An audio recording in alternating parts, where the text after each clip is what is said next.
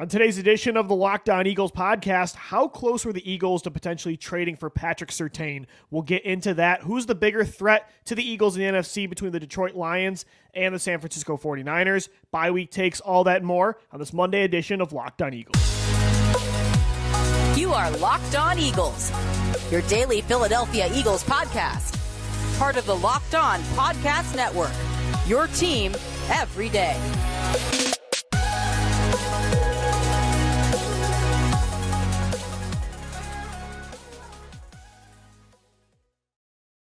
Episode of the Locked On Eagles podcast is brought to you by Game Time. Go download the Game Time app, create an account, and use our promo code Locked On NFL for $20 off your first purchase. Last minute tickets, lowest price guaranteed. We thank you so much for making Locked On Eagles your first listen each and every day right here on the Locked On Podcast Network. Joined as always by Gino Camilleri. I'm Lou DiBiase. We are wrapping up the Eagles bye week. It's officially Kansas City Chiefs week, the rematch of Super Bowl 57 next Monday night. The Kelce Bowl, Hurts versus Mahomes, storyline central. We got you covered all week for that matchup, Gino, and that's going to be a, a really good game for sure. The Eagles still busy at work, though, getting ready for that game, and it sounds like, according to some news from 15 minutes ago, they're looking for some more linebacker depth, which makes sense. Nakobe Dean placed on injured reserve last week with that apparent Liz Lisfranc injury. Sounds like they actually worked out Anthony Barr, who's a veteran, former first-round pick, everybody knows from the Minnesota Vikings, was with the Dallas Cowboys last year, so looks like Howie Roseman's still trying to add some talent for this run. Howie season is never ending, right? And I said unless there's like this buyout period that we see in the NFL, which the Patriots they released Jack Jones today. We'll see what happens with that. That's True. somebody that could potentially Slot be corner. an upgrade in in your secondary. Howie is always trying to add talent to this football team, and there's a clear need at linebacker right now. But the thing is, this bye week. I can't wait to see the first practice report, Lou, where they're hopefully close to 100% healthy. Yeah. They've had this week off now. They can get right. I think Kansas City was also on the bye as well. So you're going to see both of these teams 100% healthy, hopefully. Two the quarterbacks. totally did that on purpose. Oh, right? yeah. I mean, they set this up perfectly. Yeah. It's a great storyline. But I want to say one thing before we get into this week.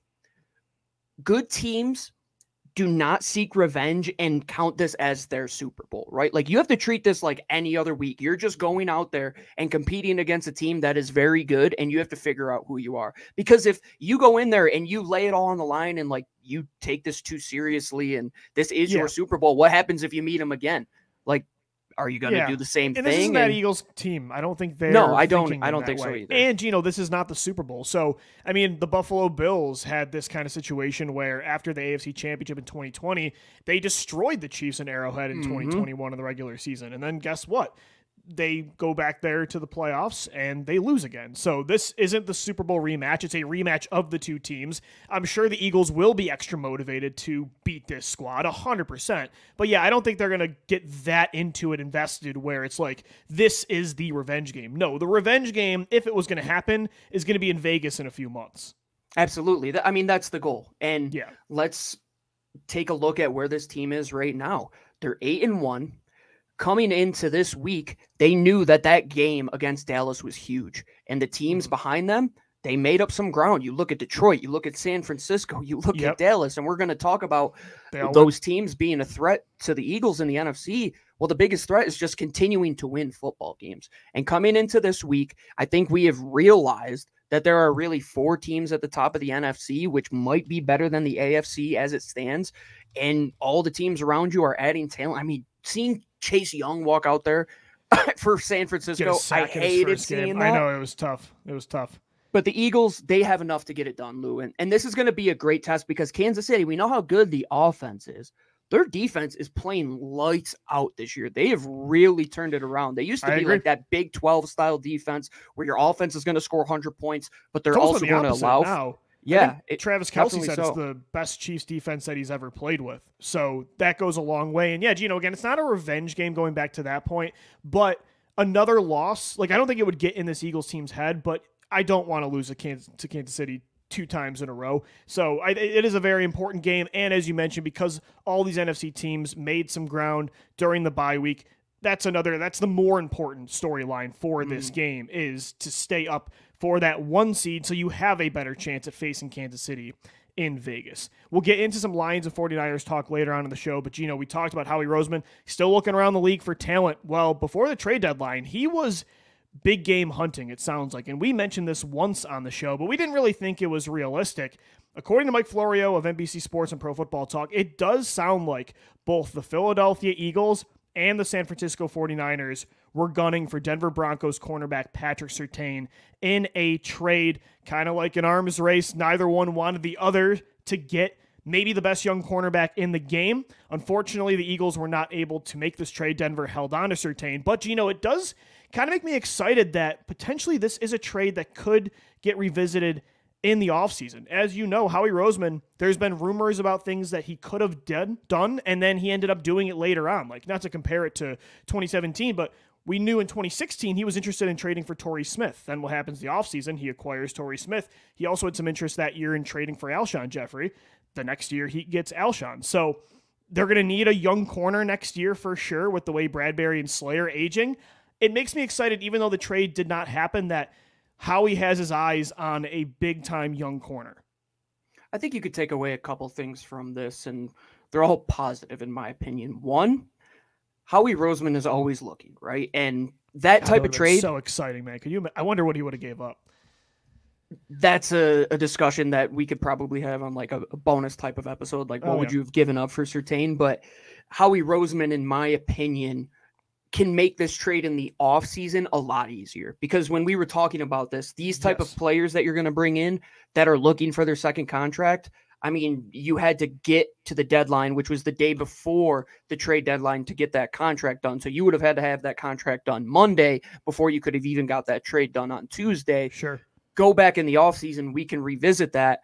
Another thing is lou he is willing to play pay good football players when other teams aren't. There's maybe like two or three teams that are willing to take those chances. And there was a funny discussion uh, within our locked on group chat when the Niners and Eagles were looking at edge rushers, and people are like, "How many do they need? Seriously, how many do they do they need?" And that's the that's. I love that is. they just won't it, take like enough. Is it's the not, cold. It's literally the Cold yeah, War. it's the Cold War. Like, you're Russia. We're the United States. We need to get like enough is never enough as we can. Yeah. yeah. exactly. They're saying we want Patrick Surtain. We'll go for it. And I like too, Gino, that he was willing to make a long term move during the season. That's best at for a position of need. At a position of need. right, exactly. At a position of need, that's an important position. And even though it would have been kind of an awkward fit this year with Bradberry and Slay, it doesn't matter. I like that he said, forget that. Like Patrick Surtain might be the best young corner in the game. If we can get him, we're going to get him.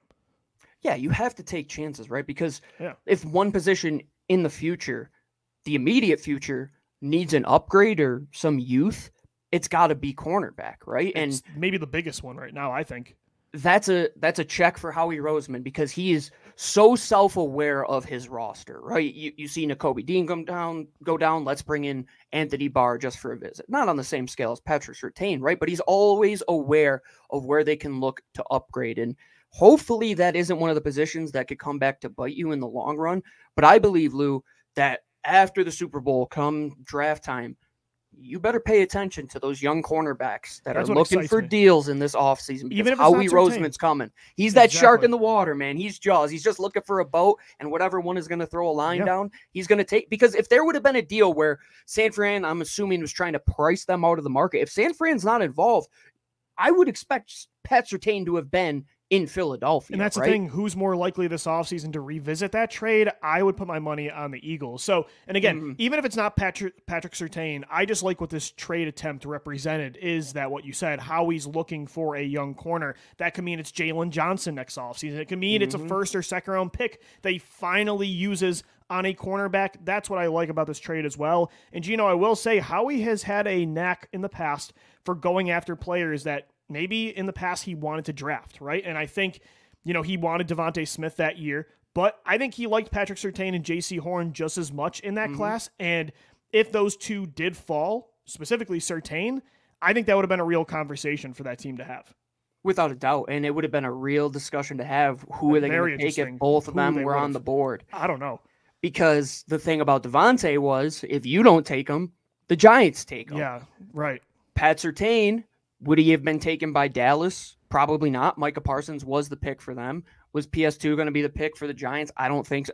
I think you would have had DeVonta Smith being a threat in your division and you would have Probably. had Pat Surtain. But the good thing is, you can also revisit this moving forward because here in Denver, I know Cody Roark over at Locked On Broncos will say that Pat Surtain wasn't available. If I'm the new ownership group, I am pulling the plug on every. I'm done with Sean Payton. I'm done with Russell sure. Wilson, and I'm going to bare bones. And it's like we need to build this yeah. thing in our identity. And if Howie Roseman is going to offer up two first round picks for Pat Surtain, Right. Lou, I'm paying the price. I'm bringing That's the, the bag for Pat Surtain. From the Broncos perspective, even if you're a rebuilding team, I've always said this on the show, like why would you trade one of your best young players at a premier position? But as you're mentioning, if the compensation is two first round picks for a rebuilding team, that's like gold. You mm-hmm. take that for almost any position that's not quarterback. So I, I, think it is something that they could revisit in the offseason. Love hearing the Eagles were in on Patrick Surtain before the trade deadline. Coming up next, right here on the Locked On Eagles podcast, who's the bigger threat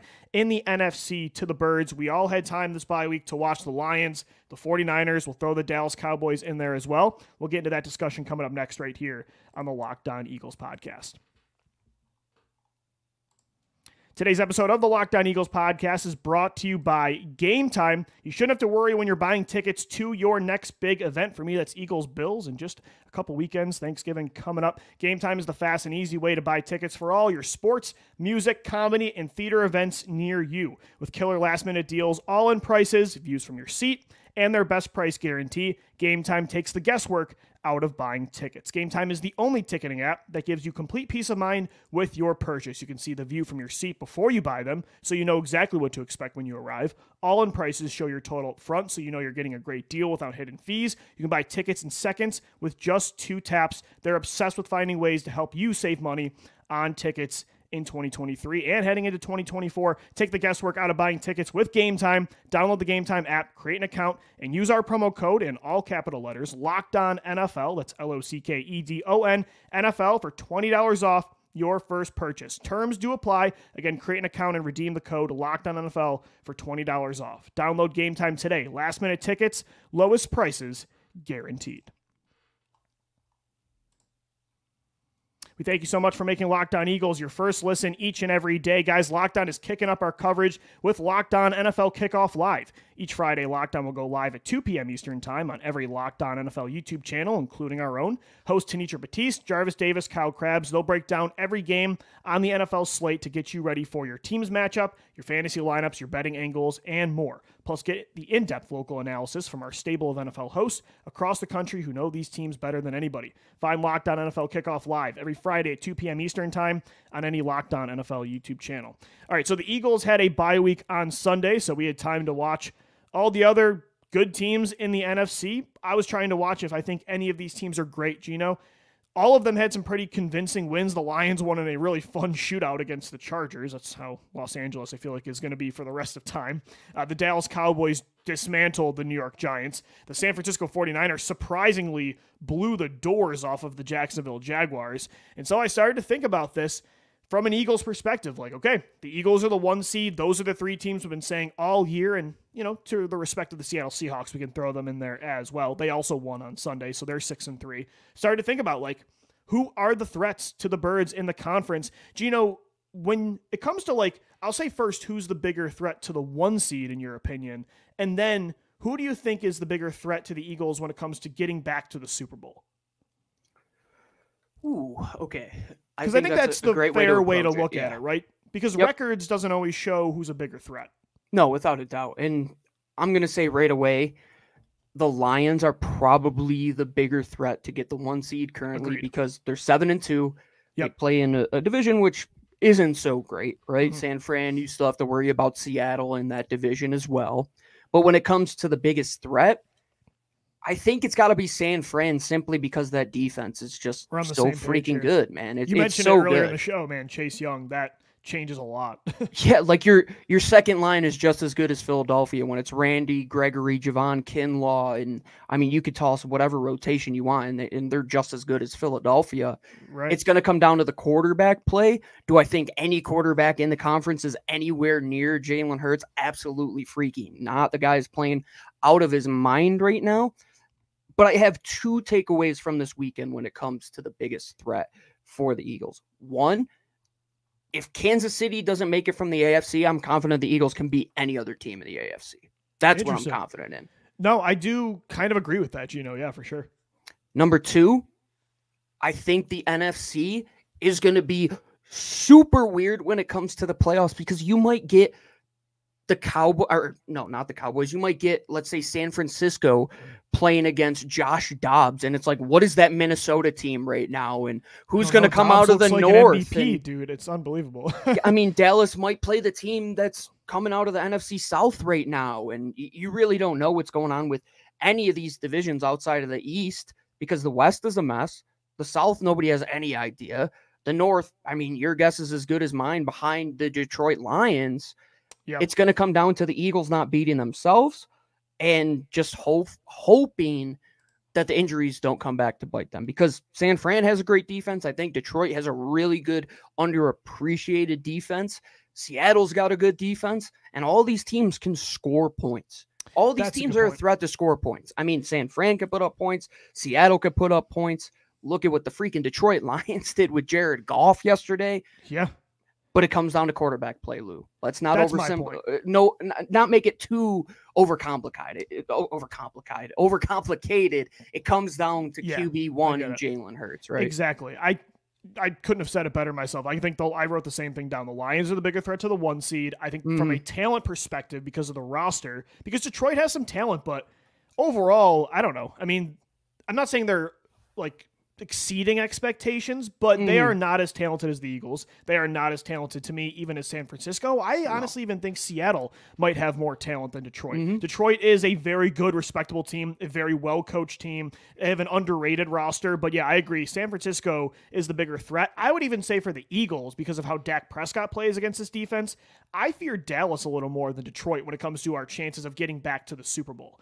But again, I completely agree with the quarterback point was my main takeaway is Although I do think San Francisco would be a bigger threat from a talent perspective, Dallas gives the Eagles problems. Detroit is 7 and 2. I just personally have a hard time fearing any team. Not saying I don't respect them, not saying they couldn't beat the Eagles, but I don't really fear any team regardless of how talented they are if they don't have an elite quarterback. And are there moments where Jared Goff looks elite? Sure. He looked elite on Sunday. Are there times Brock Purdy looks elite? Yes, he has looked elite at times over the last two years. Dak Prescott as well. But can they can they hang consistently with Jalen Hurts if he is on? And I think Jalen Hurts is guaranteed to have a certain floor of performance every single game, whereas sometimes Purdy can have a game where he's useless, right? I think there's mm-hmm. games where Goff can be self-destructing and Dak Prescott too, and it's kind of like a 2017 NFC Championship situation where Case Keenum just ran out of magic. And I don't think Jalen Hurts is capable of running out of magic because it's a that's how good of a player he is. I think with these teams, you could even say this from Seattle's perspective too, with Geno Smith. Like there's times where he can blow the doors off of a defense, but there's also times where he is not an elite. Again, the elite quarterbacks, the difference between good to great is the greats do it every single week to a certain degree. And that's what I think the Eagles have, and those teams still do not okay i'm just i was doing this exercise yesterday and i'm so glad we were talking about this because i was sitting there and i'm thinking all right it's a divisional game in the playoffs yeah. right you get the one seed you play seattle is Geno yeah. smith going to outduel jalen hurts no That's what i'm saying i just is, i can't is jared goff going to go to the go to lincoln financial field in the middle of january in an right. nfc championship environment and beat Jalen Hurts. And to their respect, they may not have to. They may not have to. I mean, they have Jahmyr Gibbs and David Montgomery. They have a great offensive line. I'm not saying right. these teams have no shot at beating the Eagles in different ways, but that again, you're right. Like, do. we lost to the Jets. Play, we lost to Zach Wilson. Right. You can lose to anybody exactly. in this league. But if Jalen Hurts is on his game, sometimes that most of the time requires the other quarterback to be just as good mm-hmm. in the mm-hmm. playoffs. And I'm totally agreeing with your point. Yeah, I just I can't see it. The the team that honestly of the three I fear the quarterback the most, and it's again comparatively speaking, is Dak Prescott. Right, he's the he's the one I could see them like if they're just getting into a boat race. Yeah, it's just going to be him and Jalen rowing away. Like neither team's playing like defense. it was Sunday. Yeah. Who's going to get to thirty five points first, and, and right. that's most likely what it would come down. I'm I'm hundred percent with you, Lou. It's like. Yeah from a team perspective, San Fran, 100%. You have all the weapons on offense. You have a, a great mind p- calling the plays, right? But you played a very similar team like that. Not as good of a defense, but in Miami. And I keep looking at those teams the same way. I'm excited to see that San Fran game because it's going to be a great benchmark. But I'm with you, Lou. The biggest threat at quarterback, I would say, is Dak. The biggest threat from the one seed is Detroit. The yep. biggest threat when it comes to overall talent perspective has mm. to hmm. be San Fran. Perfect way to categorize it, I think. And those are the top three teams. And then you throw in Seattle. But overall, I think the NFC in, entirely is the Eagles conference to lose. And it's mm. got a hmm. they got a tough schedule coming up, but they have those tests coming up against these really good teams. They play actually all of them except for Detroit before the playoffs do come around. So more bye week takes coming up next right here on the Locked On Eagles podcast.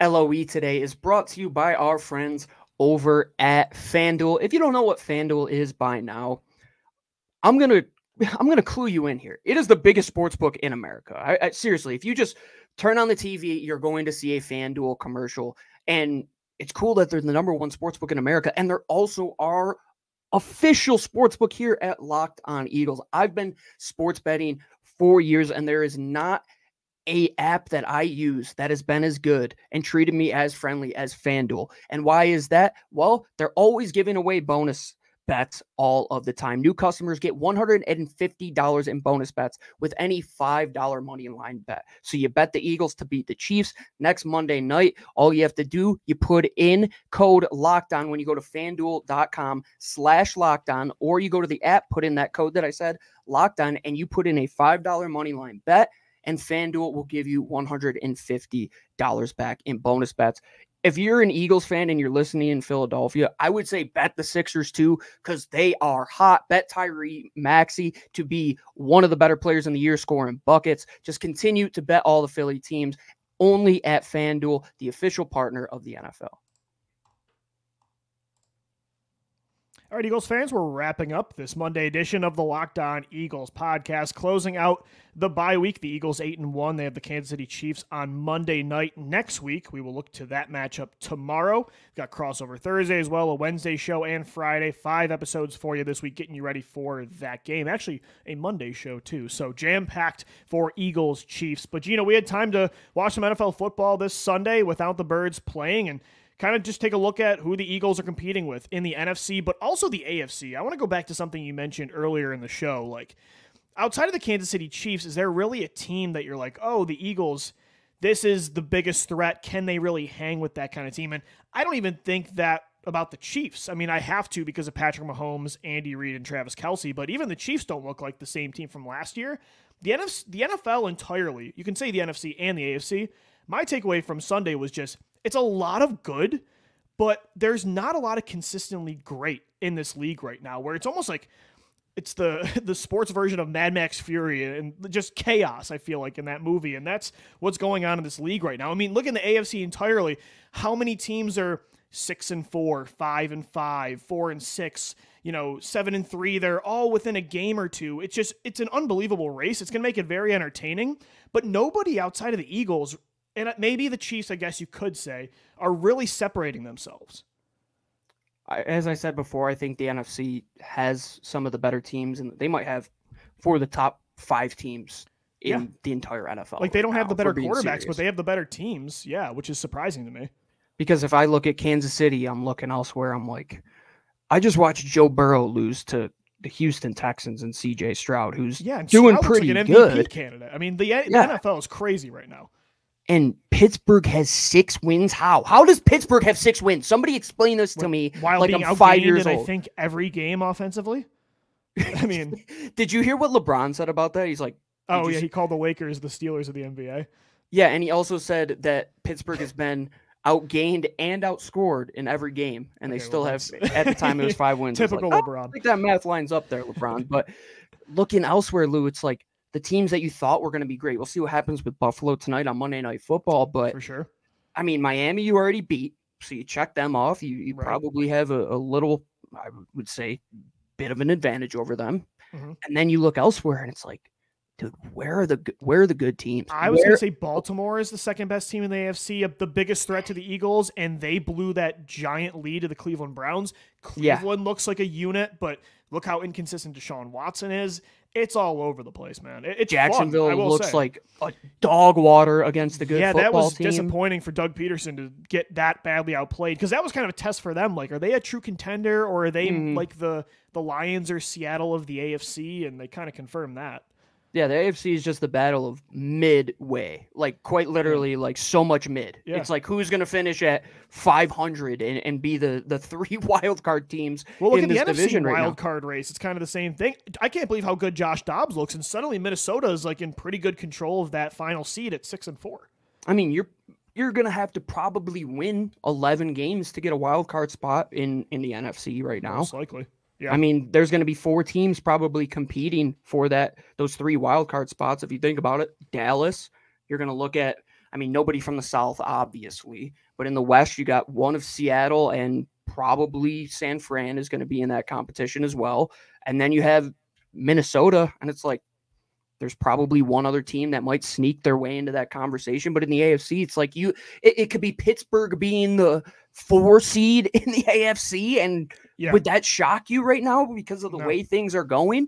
I, I I don't get what's going on over there, but the Eagles just got to handle their business in their conference because, I mean, even if Kansas City loses, they still have quite the margin mm. to continue to go out and get that one seed, being seven yeah. and three. They would be if the Eagles drop this they're only one win over the Detroit Lions right now of being separated via probably a tiebreaker. I think it helped put things in perspective on Sunday about the Eagles' struggles this year, their quote unquote ups and downs and the inconsistent issues they've had on both sides of the ball. When mm. you watch the rest of the league, it does show you, oh, the Eagles have actually been the most consistent football team in football, and it's why they're eight and one. I also have to say another thing about this league there are so many bad quarterbacks. There are so yeah, many bad quarterbacks. It's, really bad.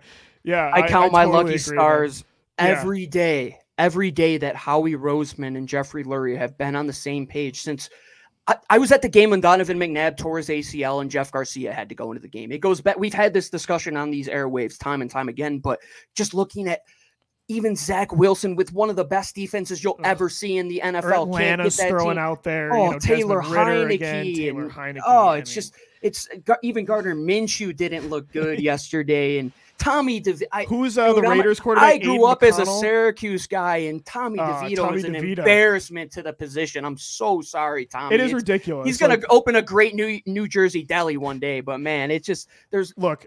Hey, Sam Howell might have looked like one of the better quarterbacks that we see, watched yesterday. This is the thing, man. I love football, and I'll I'm one of the biggest diehard NFL fans of all time. But there are moments where I'm sitting there on a Sunday, I'm like, man sometimes there's more bad football than good. And there is most of the time more bad quarterback play than good. So just count your lucky stars as an Eagles fan that they might have the best one, if not top three, and they don't have to. I mean, I couldn't imagine being a Giants fan right now watching Tommy DeVito or no. being like a kind of a contender or a playoff team throwing out like Zach Wilson. I mean, it's just unbelievable. Yeah, imagine if the Eagles had as good of a defense as the Jets and like, they could throw up Marcus situation. Mariota. That would be yeah. something that you could probably win with, right? Mm-hmm. Like, but Zach Wilson can't. He can't do anything over. That's got to be right so now. frustrating to know you have the roster and you don't have the quarterback. That's again the most frustrating position to be in in sports. And I feel like there's so many teams like that right now. The Cleveland Browns paid their guy all yeah, the guaranteed money exactly in the world. That. They're just like the Pittsburgh Steelers. The only difference is Kenny Pickett's on a rookie deal and Deshaun Watson is making two hundred million dollars fully guaranteed. But he, I can't believe they made that comeback the other day. But yeah, I think that's another takeaway. Is the quarterback play in this league is just all over the place. the night before, I'm watching Caleb Williams go against Bo Nix, two guys that yeah. are potentially going to win the Heisman and might be first round picks. And I'm like, there's maybe 13 guys that both of these dudes could start over in the NFL. Even the morning game, I was angry at myself for waking up and attempting to watch oh, Patriots look, Colts. I'm like, why did I? I'm going outside. Mac Jones has a job. Why? Like, what are we doing, NFL? Look, we got to figure this now, thing out. I love football, but I'm not going to watch football just for the sake of watching football. If it's not entertaining me, I'm turning the TV off. I turn that game off pretty quickly. Yeah, it was just the battle of average yesterday, man. Just you go terrible. from a first game that goes from Gardner Minshew and Mac Jones to a primetime game between Zach Wilson and Aidan O'Connell. Ridiculous. Why do the Eagles have the most watched games this year, Lou? Because people yeah. want to watch a good quarterback. They want to watch a good football. product of this sport. Yeah, 100%. oh, unbelievable. Interesting stuff. We'll get into Eagles Chiefs coming up this week, the rematch of Super Bowl 57. Four more shows coming your way right here on the Locked On Eagles podcast. Part of the Locked On Podcast Network, your team every day. Shout out to our everydayers for listening and watching Monday through Friday. For Gino Camilleri, I'm Lou DiBiase signing off. As always, thank you for downloading, thank you for watching and listening, and let's go, birds. Fly, Eagles, fly.